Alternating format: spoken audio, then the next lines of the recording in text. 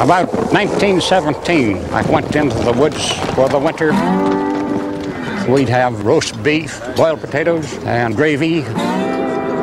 If you had a good day, you'd get in by 6. If you had a poor day, 9.30.